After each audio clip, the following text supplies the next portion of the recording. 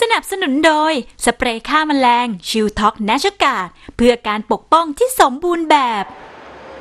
กลับเข้าสู่รายการเปิดดวง 12 ราศีนะคะ ช่วงนี้ยังสามารถส่งข้อมูลเข้ามาให้อาจารย์ตรวจสอบในเรื่องของเรื่องราวดวงชะตากันได้นะคะ แต่ว่าสิ่งสำคัญ อย่าลืมค่ะระบุข้อมูลเข้ามาให้ครบนะคะ วันวันที่เดือนพศแล้วก็เวลาเกิดรวมไปถึงคำถามค่ะ ระบุคำถามเข้ามาชัดเจนนะคะส่วนใครต้องการตรวจสอบลัคนาราศีบอกด้วยว่าตัวเองเกิดจังหวัดไหน ช่วงเวลาประมาณเท่าไหร่นะคะ แล้วก็ส่งข้อมูลทั้งหมดมาที่ 4221606 ส่วนใครอยากพูดคุยกันก็สามารถโทรเข้ามาลงทะเบียนได้นะคะที่เบอร์โทรศัพท์ 02 4960493 และ 02 496 0494นะกติกาก็เช่นเดียวกัน ข้อมูลวันเดือนปีเกิดเวลาเกิดนะคะ ต้องบอกเข้ามายครบถ้วนด้วยนะคะ แต่ว่าตอนนี้ค่ะเดี๋ยวเรามาทวนดีกว่า 12 ราศีวันนี้ ภาพรวมเนี่ยเป็นอย่างไรกันบ้าง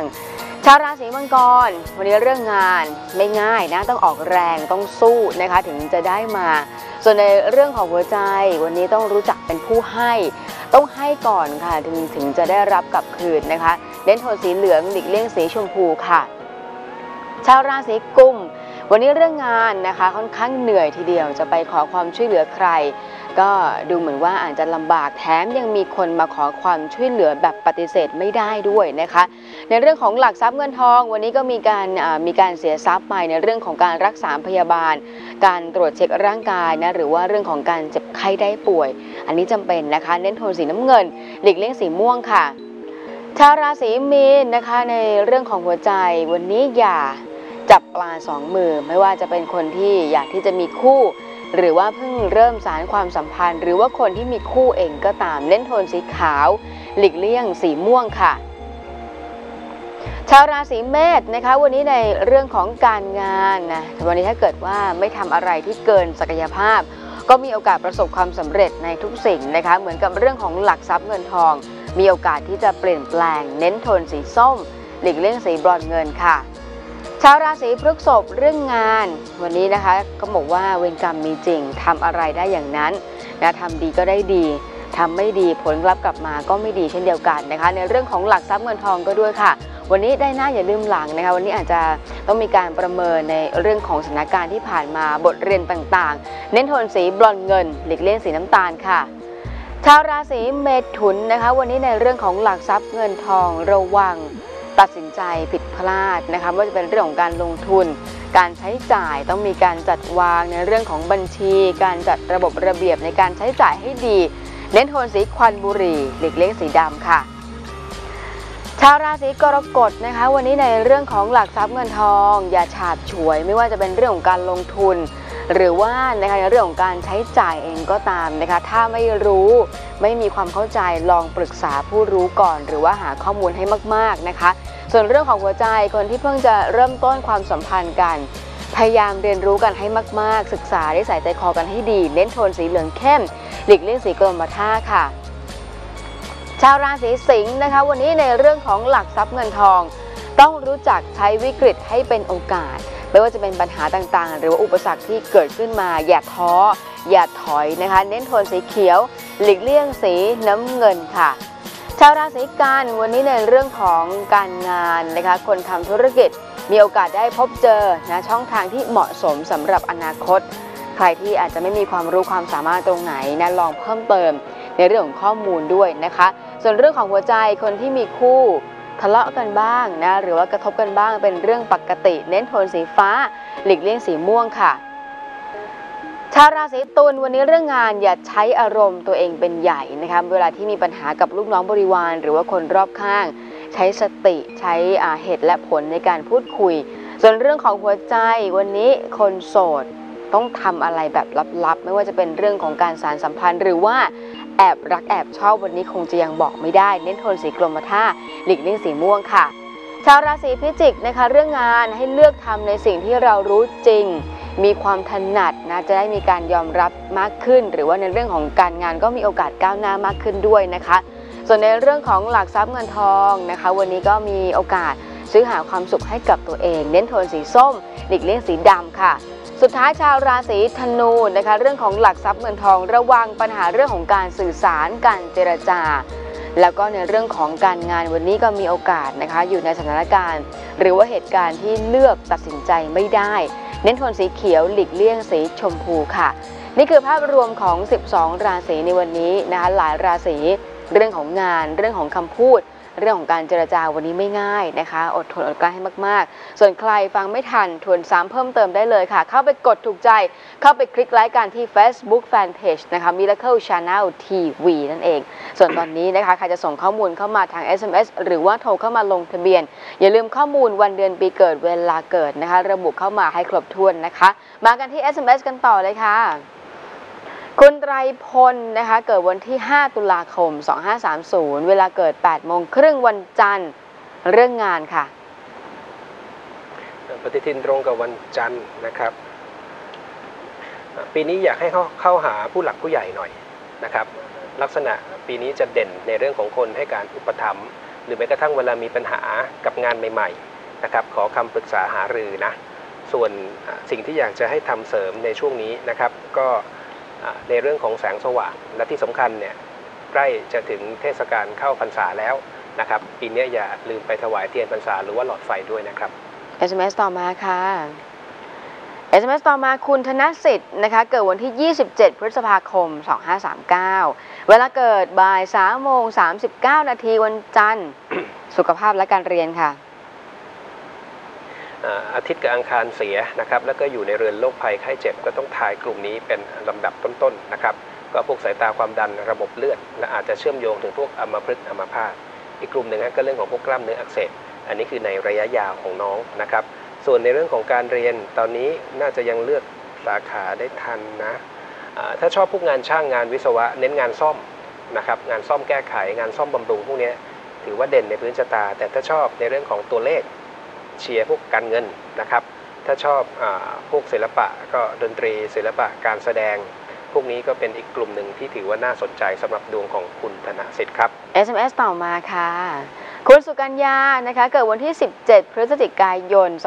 2508 เวลาเกิดค่ะ3ทุ่ม 15 นาทีพุธกลางคืนนะคะบอกว่าเพราะอะไรถึงไม่เคยได้รับความช่วยเหลือจากญาติพี่น้องเลยค่ะ เอ่อ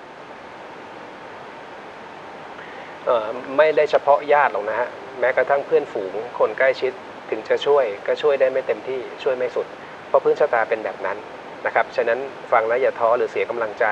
ดวงนี้ต้องพยายามพึ่งพาตัวเองเยอะๆ คุณลองสังเกตดูนะครับ ไม่ว่าคุณจะทำอะไรก็แล้วแต่เนี่ยกว่าจะได้มาคุณต้องใช้ความพยายาม ใช้เวลาหรือต้องออกแรงมากกว่าคนอื่นอยู่เสมอๆนะครับ ก็ปีนี้สิ่งที่อยากจะฝากนะ ก็ ไปบริจาคทำบุญอ่าทำบุญลงศพก็ได้ ที่มูลนิธิพวกโรคกตัญญูหรือว่าปอดเต็กตึงก็ได้ครับ SMS ต่อมาค่ะ SMS ต่อมานะคะ คุณหนุ่มค่ะ เกิดวันที่ 20 ตุลาคม 2522 นะคะ เวลาเกิดเที่ยง 5 นาทีวันเสาร์อาชีพขายลูกชิ้นทอด น้ำปั่นจะดีหรือเปล่าอะอาชีพเด่นทำอะไร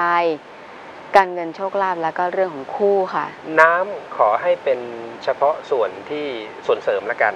นะครับของคุณจริงๆก็ทำเกี่ยวข้องกับของของกินได้นะ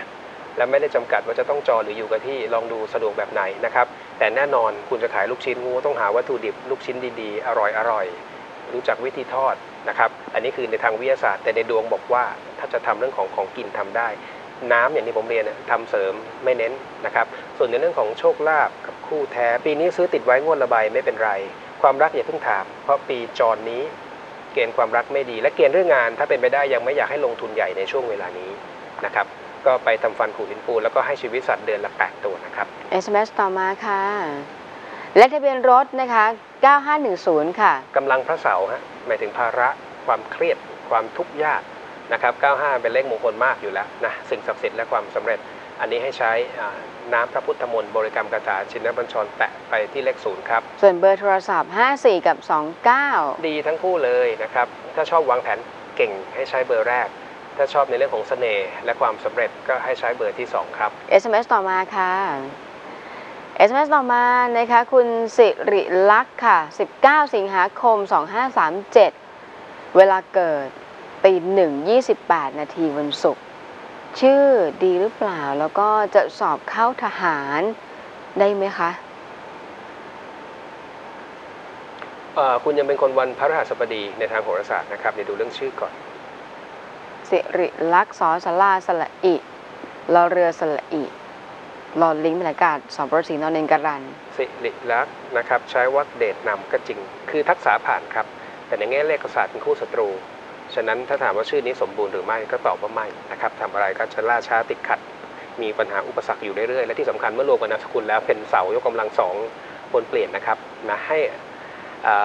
าเป็นสุภาพสตรีเนาะสิริลักษณ์อืมนะครับ ก็ควรจะคุณเป็นคนพฤหัสนะฮะก็ให้ใช้วรรคอาทิตย์นำเริ่มต้นด้วยตัวออ่างนะครับ จะมีสระนำหน้าไม่ว่ากันเช่น ยกตัวอย่างเช่นเอ็นดูอย่างเงี้ยถือตัวอเป็นตัวนำ หลีกเลี่ยงดอเด็กตอเต่าทอถุงทอทหารทอธงและนอหนูนะครับแต่ถ้าถามว่าในดวงนี้นะถ้าอยากจะรับราชการทหารเด่นหรือไม่ คือถ้าชอบในเครื่องแบบจริงๆเนี่ยผมเชียร์ให้เป็นตำรวจมากกว่านะรับราชการตำรวจมากกว่านะครับในดวงของน้อง แต่ที่เด่นกว่าที่เด่นกว่านะครับก็การเป็นครูอาจารย์นะครับก็เน้นระดับอุดมศึกษาหรือทำงานในแวดวงสถาบันการเงินดี และถ้าเรียนไหวนะแพทย์เภสัชนะครับ แล้วก็ในเรื่องของพวกอ่านิติกรผู้พิพากษาครับเบอร์โทรศัพท์ 10 ค่ะ ขยับขึ้นเป็น 1 4ฮะจักรพัฒบ่งถึงเกียรติยศชื่อเสียงความเป็นที่หนึ่ง SMS ต่อมาค่ะ SMS ต่อมาคุณธนวัฒน์นะคะ เกิดวันที่ 6 กุมภาพันธ์ 2521 เวลาเกิด 6 โมงเช้าวันจันทร์ทำอาชีพอะไรดีค่ะอ่า ปฏิทินตรงกับวันจันทร์ถูกต้องนะครับ ก็ฟ้าก็สว่างแล้วพระฤหัสในดวงสวยที่สุดนะครับ อย่างที่บอกฮะแวดวงสถาบันการเงินก็ได้นะครับทำธุรกิจก็เกี่ยวข้องกับพวกสุขภาพ เช่นนวดแผนโบราณ ขายยา เปิดสถานพยาบาลนะครับธุรกิจเกี่ยวข้องกับเครื่องสังฆพันธ์แล้วก็ถ้าคุณสนใจในเรื่องของโหราศาสตร์ อันนี้ถือว่าน่าสนใจและปีนี้พระรหัสก็เป็นสีด้วยนะครับ ส่วนเบอร์โทรศัพท์ 97 ค่ะ อ่าขยับลงเป็น 96 นะฮะ ทุกอย่างมันจะได้เร็วขึ้นจ้ะ SMS ต่อมาค่ะ คุณพิษณีนะคะเกิดวันที่ 3 กุมภาพันธ์ 2541 ค่ะ เวลาเกิด 11นาฬิกา43 นาทีวันศุกร์การทำบุญเสริม แล้วก็อาชีพทำหอพักได้ไหม 3 กุมภา41 ปฏิทิน ตรงกับวันอังคารเลยจ้าอ่าคุณพิษณีรบกวนตรวจสอบ ข้อมูลอีกครั้งหนึ่งนะครับ SMS ต่อมาค่ะ SMS ต่อมานะคะคุณคุณโกค่ะ ถามในเรื่องของเลขบ้านทับหนึ่งชื่อเสียงเกียรติยศทายอาทิตย์ดีครับ ส่วนทะเบียนรถนะคะสองคัน คันแรก 946อ่ามีสิ่งศักดิ์สิทธิ์คุ้มครองนะ46 เป็นคู่ธาตุน้ำความสงบร่มเย็นดีครับ 5234 ค่ะ จันทร์พฤหัสเป็นดาวคู่ธาตุดิน หลักฐานความมั่นคงเป็นคนตรงและมีเสน่ห์ อังคารเก่งทำสี่เก่งคิด เป็นคู่ทฤษฎีคู่ปฏิบัติดีทั้งคู่หน้าและคู่หลังครับ เบอร์โทรศัพท์นะคะมี 48 กับ 63 ใช้สุขปักหวานอังคารรับเอา เป็นคู่มิตรดีกว่าพุธอันตรพานวิวาทราหูก็คือ 63 นั่นแหละครับ SMS ต่อมาค่ะ คุณชิติพัฒน์นะคะ เกิดวันที่ 8 พฤศจิกายน 2528 เวลาเกิดนะคะ 10นาฬิกา23 นาทีวันศุกร์ครับ ชื่อนี้ดีไหมคะ สะกดจ้ะชอช้างสละอิต่อเต่าสละอิ พอพานบรรยากาศทอทหารทอธงกรันอันนี้ก็น่าจะเปลี่ยนมาแล้วเหมือนกันนะชัยแก้ว ดีแล้วไม่ต้องเปลี่ยนนะฮะคนเราไม่ควรจะเปลี่ยนบ่อยๆ ไม่ได้เกี่ยวกับเรื่องอะไรเป็นสาระสำคัญหรอกแต่มันหมายถึงความไม่เชื่อมั่นในตัวเองนะครับ SMS ต่อมาค่ะ SMS ต่อมานะคะเจ้าของ SMS เกิดวันที่ 8 สิงหาคม 2523 เวลาเกิด7นาฬิกาตรงนะคะ วันศุกร์ลัคนาราศีอะไรจังหวัดอุตรดิตถ์ค่ะ อุตรดิตถ์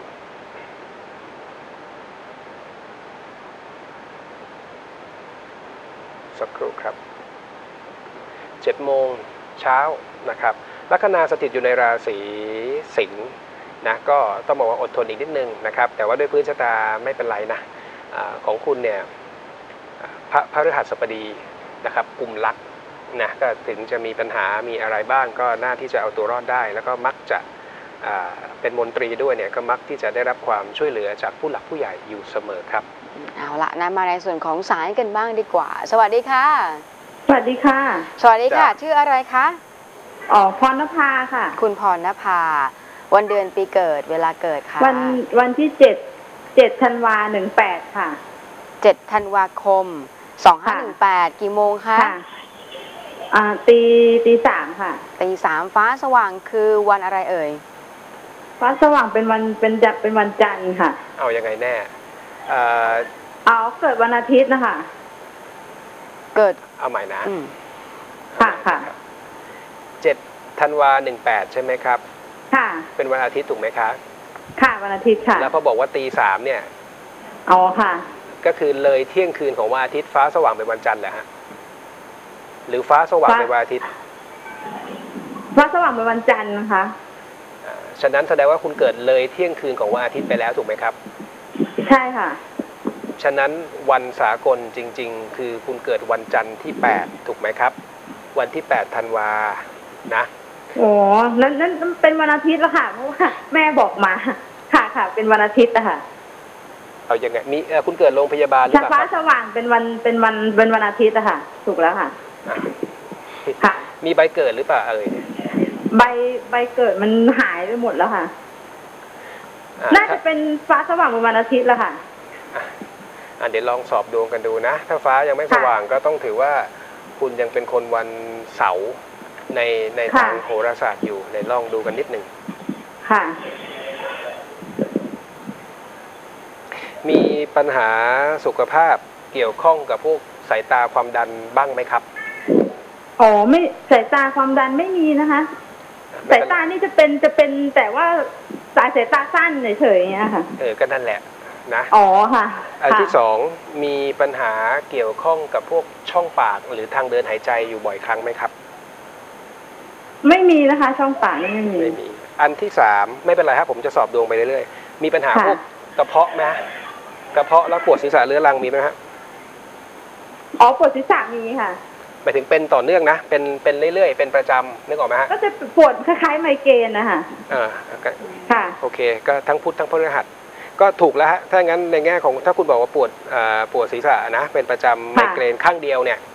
ค่ะค่ะนะอ่า ถูกแล้วครับ ฟ้าสอ๋ว่างอค่ะฟ้าสว่างเป็นวันอาทิตย์ แต่คุณยังค่ะเป็นคนวันเสาร์อยู่นะครับ อ๋อค่ะ อะค่ะ ปีจรตอนนี้อยู่ในช่วงย่าง 40 บ้านที่อยู่อาศัย มีสิ่งไหนชำรุดหรือตั้งตั้งใจจะปรับปรุงซ่อมแซมบ้างไหมครับ มีไหมครับ อ๋อบ้านบ้านไม่ไม่น่าจะมีค่ะบ้านถ้างั้นรถรามีไหมครับ รถลารถลาก็ไม่มีนะคะ ไม่มีอีกอ้าวค่ะมีปลวกขึ้นบ้านไหมฮะ อ๋อปวกเคยขึ้นแต่นานแล้วค่ะ คือตอนนี้ก็ รักษาไปหมดแล้วอ่าแต่มาเป็นระยะค่ะ หรือเปล่าครับ มีไหมเป็นช่ก็วเพิ่งงๆไหมมาเพิ่งมาเพิ่งมาหนเดียวค่ะ เพิ่งมีมาขึ้นมาหนเดียวแล้วพอทำพอกำจัดไปก็ไม่มีแล้วค่ะ อะโอแต่เครถนี่จะพังจะพังเรื่อยอะรถอะค่ะ อะโอเค คืออย่างเงี้ยโหราศาสตร์มันแล่หรือไงเมื่อกี้พยายามจะสอบดวงเพราะว่าหนึ่งเรื่องปลวกใช่อันที่สองเนี่ยไม่บ้านก็รถปีเนี้ยต้องมีอะไรต้องมีอะไรต้องซ่อมแซม ค่ะอะ โอเค ผมมั่นใจแล้วว่าคุณคุณเป็นคนวันวันเสาร์ในทางโหราศาสตร์อาจจะถามเกี่ยวกับเรื่องอะไรเชิญเลยครับ ถามเกี่ยวกับเรื่องครอบครัวนะคะอะตอนนี้ยังอยู่กับคู่ครองหรือเปล่าฮะ อ๋ออยู่ค่ะอยู่ คืออย่างนี้ครับด้วยด้วยพื้นชะตาด้วยพื้นชะตาเกณฑ์ความรักเนี่ยอาจจะไม่ค่ะ สมบูรณ์เหมือนเรื่องอื่นนะครับ ค่ะ ก็มักจะมีปัญหาอาจจะเป็นในในแง่ของระยะห่างหรือบุคคลอื่นค่ะ เข้ามาเกี่ยวข้อง นะครับค่ะก็อาจจะเข้าทำนองได้ตัวไม่ได้ทะเบียนหรือได้ทะเบียนแต่ไม่ได้ตัวจะเป็นทรงนั้น และปีเนี้ยย่าง 40 ให้ประคับประคองให้ดีๆนะครับ ค่ะนะรออย่างน้อยเนี่ยให้เลยผ่านเข้าช่วงย่าง 41 ไปให้ได้อ๋อค่ะ และที่แต่น่าแต่ก็มีลูกมีลูกด้วยกันแล้วนะคะจะก็ก็ให้ประคับค่ะประคองหน่อยค่ะให้ประคับประคองให้หน่อยนะครับและปีเนี้ยคำพูดคำจาของคุณเนี่ยให้ระมัดระวังนะครับ ค่ะบางทีคุณเองพูดตรงนะ พูดตรงแล้วก็ค่ะ แข็งด้วยนะครับค่ะ จ้ะแล้วแล้วแล้วเรื่องการเงินล่ะคะตอนนี้ทำงานอะไรอยู่หรือเปล่าฮะอ๋อไม่ได้ทำเป็นแม่บ้านอยู่บ้านเฉยๆค่ะ คือแฟนทำคนเดียวอะค่ะ เอ่อเป็นห่วงในช่วงย่าง 41 มากกว่านะครับค่ะตอนนี้ย่าง 40 นะ ย่าง ค่ะ 41 เนี่ยจะเป็นห่วงในแง่ของการเงินสภาพคล่อง ค่ะ ปีนี้ยังพอได้ครับอ๋อ แล้วพอผมไม่ได้แน่ใจว่าในดวงปีนี้ตั้งใจจะเปลี่ยนรถไหมถ้าซ่อมไม่ไหวจริง ๆอะอ๋อ ก็ก็ยังค่ะเพราะว่ามันยังผ่อนไม่หมดเลย มันยังรายจ่ายมันยังเยอะอยู่คงคงยังไม่เปลี่ยนมั้งอ่าคะ ไม่เป็นไรลองดูฮะจังหวะเวลาถึงค่ะสิ้นปีนะจังหวะค่ะ เวลาถึงสิ้นปีครับค่ะแล้วอยากอยากถามว่าถ้าดูแบบของแฟนนี่ด้วยได้ไหมคะนี่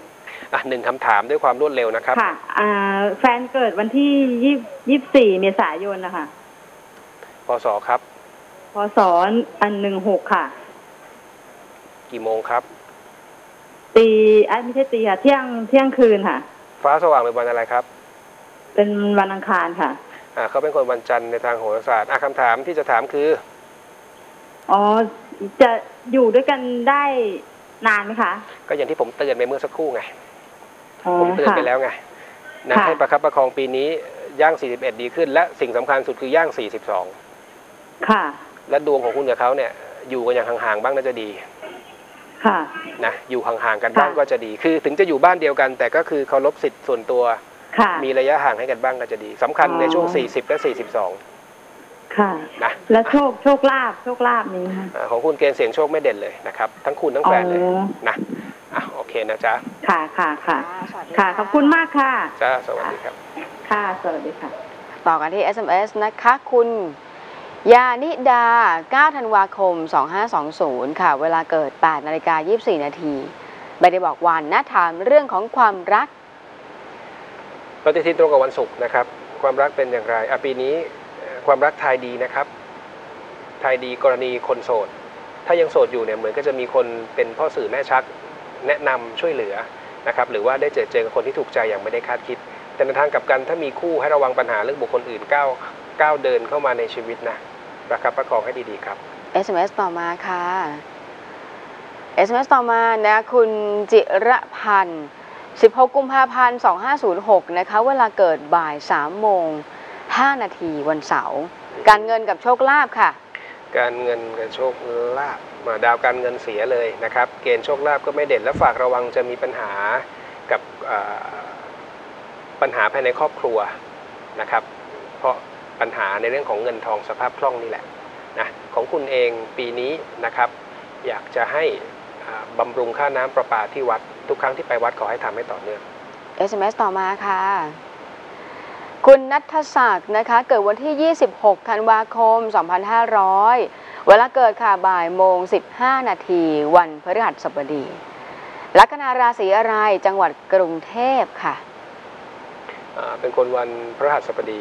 ถูกต้องนะครับ ลัคนาอะไรกรุงเทพค่ะอ่าเป็นคนลัคนาราศีเมษนะครับนะเมษก็ต้องบอกว่าอ่าปีช่วงปี 2 ปีที่ผ่านมาเนี่ยเหนื่อยยากมาเยอะนะครับช่วงนี้พระรหัสก็ยังได้ตำแหน่งปทุมเกณฑ์แม้จะมีการโยกย้ายก็มีโอกาสในการริเริ่มสิ่งใหม่ๆ ฉะนั้นออกแรงกวนขวายเยอะๆนะเยอะๆนะครับโดยรวมก็จะค่อยๆเปลี่ยนแปลงในทางที่ดีขึ้นครับ SMS ต่อมาค่ะ SMS ต่อมานะคะคุณนกนะถามเรื่องของเลขบ้าน 202 ก็ภัยอาเพศมฤตยูอย่างที่เรียนเมื่อเบรกที่แล้วนะครับอันนี้ใช้ทองคำเปลวแท้ปิดที่เลขศูนย์ครับ ทะเบียนรถนะคะ881 ค่ะ ก็อยู่ไม่ติดที่ชีพจรลงเท้า สายตาความดันระบบเลือด อันนี้ใช้นะพระพุทธมนต์แปะที่เลขแปด813 ถ้าทางจะชอบเลขแปดนะหนึ่งสามดีฮะมหาอุดแข่งกับใครก็ไม่แพ้หัวหน้างานเจ้านายเจ้าของกิจการ แต่ราหูคือการถูกให้ร้ายคดีความภาระหนี้สินโมหะจริตชนะพระพุทธมนต์แปะที่เลขแปด SMS ต่อมาค่ะ คุณคณิษฐานะคะเกิดวันที่ 11อ่ากุมภาพันธ์ 2525 เวลาเกิด 6นาฬิกา30 นาทีวันพฤหัสบดี สุขภาพนะ เวียนศีรษะ ปวดศีรษะเกือบทุกวัน ส่วนอาชีพก็ทำงานปลูกผัก คือจริง ๆ ด้วยพื้นชะตาเนี่ยนอกจากพุทธที่หมายถึงในเรื่องของพวกไมเกรนแล้วเนี่ยอาการทางระบบประสาท ถ้าเสาเสียก็มีโอกาสจะเป็นเช่นเดียวกันและด้วยพื้นชะตาของคุณนั้นนะครับกนอกจากในเรื่องของปวดศีรษะเรื้อรัง การทำงานของพวกระบบประสาท ผมยังเป็นห่วงนะในเรื่องของไขข้อนะครับระบบลำไส้การขับถ่ายด้วยนะส่วนในการทำบุญเสริมเนี่ยพยายามถ้าเจอเจอคนชรา นะแล้วก็บริจาคทุนการศึกษาเนี่ยขอให้ทำส่วนในเรื่องทำงานปลูกผักเอ่อสวนเกษตรจริง ๆ ก็ไม่เชียร์นะถ้าทำอยู่แล้วก็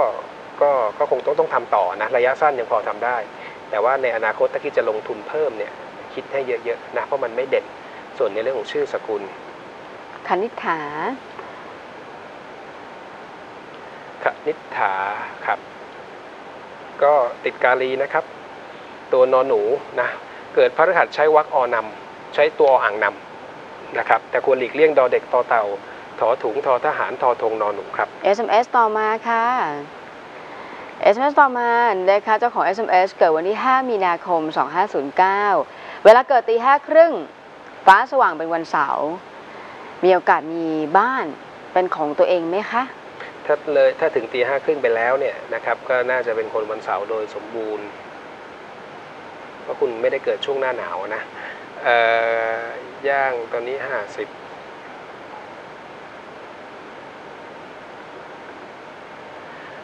ห้าสิบสอง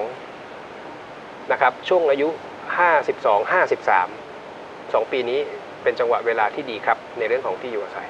SMS ต่อมาค่ะ SMS ต่อมานะคะ คุณสรศักดิ์ค่ะ เกิดวันที่ 7 มีนาคม 2523 เวลาเกิด 5ทุ่มครึ่งวันศุกร์อือฮึการเงินแล้วก็ถามว่าทำอาชีพอะไรดี ปฏิทินตรงกับวันศุกร์นะรับซ้ายจ่ายขวานะครับ ปีนี้นะของคุณบริจาคอะทำบุญด้วยการถวายชุดสังฆทานยานะครับ ส่วนอาชีพที่เด่นที่สุด พุทธสวยนะครับ พวกเซลล์ได้พวกงานขายตรงนะครับ หรือพวกงานอ่า ประชาสัมพันธ์งานบัญชี งาน HR งานจัดซื้อจัดจ้าง พวกนี้การเป็นคนกลางในหน้า ถ้าทำธุรกิจก็พวกอุปกรณ์สื่อสารนะครับศูนย์ถ่ายเอกสารเข้าเล่มทำรายงานพวกนี้ถือว่าดีครับเอาละค่ะเดี๋ยวช่วงหน้ายังสามารถส่งข้อมูลนะเข้ามาทาง SMS ให้อาจารย์ตรวจสอบดวงชะตากันนะคะอย่าลืมระบุข้อมูลเข้ามาให้ครบพิมพ์ PD นะคะเว้นวรรคตามด้วยชื่อนามสกุลค่ะ วันวันที่เดือนพศรวมไปถึงเวลาเกิดแล้วก็คำถามด้วยนะคะ ส่งมาที่ 4221606นั่นเอง ส่วนใครต้องการตรวจสอบลัคนาราศีอย่าลืมบอกด้วยนะ ว่าตัวเองเกิดจังหวัดไหน ช่วงเวลาประมาณเท่าไหร่นะคะ แล้วเราก็จะมาฟังเรื่องราวของนะในเรื่องของเรื่องงานยามดี เดือนพฤษภาคมกันด้วยพักกันสักครู่ค่ะครับ